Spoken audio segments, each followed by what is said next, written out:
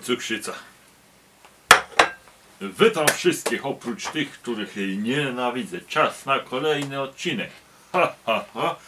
Niby niedziela i powinien być Kapos Extarum i jest Kapos Extarum, ale nie jest to Kapos Extarum, ponieważ Kapos Extarum byłoby Kapos Extarum, gdyby nie to, że dzisiaj przedstawimy broń z drewna. Otóż tydzień temu, jeżeli dobrze się nie mylę, robiłem miecz, żeby pokazać y, jak się robi miecz na życzenie widza. Miecz wikinga zrobiony z drewna, z metalu nie zrobię, bo zdrowie nie dopisuje i warunki w jakich pracuję również nie. Dlatego postanowiłem, że zrobię miecz z drewna i powiem wam tak. Miecz pożoga. Miecz wzorowany na mieczach wikińskich. Miecz, który z początku, gdy zacząłem go robić, stwierdziłem, że nie ma takiej opcji. Drewno jest y, tak dziadowej jakości, że nic z tego nie wyjdzie. Ale stwierdziłem, że się nie poddaję i spróbuję coś z tej deski zrobić. No i powiedzmy, że coś wyszło. Rzecz w tym, że wyszło, ale jak zacząłem malować, to wyszło tak tragicznie, że niestety ten miecz, może z daleka, tak jak widzicie to na nagraniu, wygląda to tak jak wygląda. Ale drewno okazało się być e, tak lichej jakości, że nakładanie warstw farby tylko po prostu uwydatniało wady tego drewna. Więc myślę, że to jest kolejna przesłanka, żeby już nie robić broni z czystego drewna, y, przynajmniej jeśli chodzi o rzeczy typu miecze, bo jeśli chodzi o rzeczy typu młoty i buławy, no to tutaj nie za bardzo da się inaczej niż z surowego drewna. Nikt nie zrobi sklejki grubości y, 30 cm.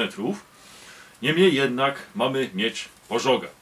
I tutaj, żeby wszystko ładnie pasowało, miecz ten jest w takim stanie, ponieważ jest to miecz z innego wymiaru, standardowo należący właśnie do arsenału broni z innego wymiaru, miecz znaleziony w spalonej chacie, znajdującej się we wiosce, która została zniszczona i splądrowana przez wikingów.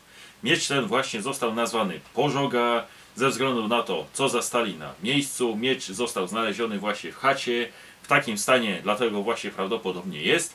Jednak poza tym został nienaruszony napis runiczny, który czy jest biegiem okoliczności, czy nie. Y, Tutaj prawdopodobnie mam nadzieję, że dobrze napisałem. Jest tu napisane Helviti. Helviti w staronordyjskim to inferno, a inferno to inaczej można powiedzieć coś typu piekło. Więc można powiedzieć, że wszystko do siebie pasuje, ponieważ miecz przetrwał piekło, które miało miejsce w tej wiosce i na cześć tego został nazywany mieczem pożoga. Dodatkowo, jako że myślałem, że mam szarą farbę, bo szara farba to akurat jest coś, co zawsze miałem, myślałem, że po prostu będę mieć szarą farbę i będzie bardzo wikiński ten miecz. Niestety się okazało, że w magiczny sposób szara farba mm, przestała istnieć i nie wiem, nie pamiętam, żebym zużył ostatnio szarą farbę, ale nie mam szarej farby, dlatego postanowiłem, że ostrze, żeby jeszcze było bardziej charakterystyczne, będzie po prostu czarne i będzie kontrastowało z żółtą rękojeścią. Więc broń jakości mizernej, czyli moja produkcja, wszystko się zgadza, ale z drugiej strony tutaj przynajmniej mogłem to wyjaśnić jakoś historycznie. Także w tym odcinku to było na tyle. Do zobaczenia i cześć. Obrażenia odcięć. Minus jeden, minus jeden, minus jeden.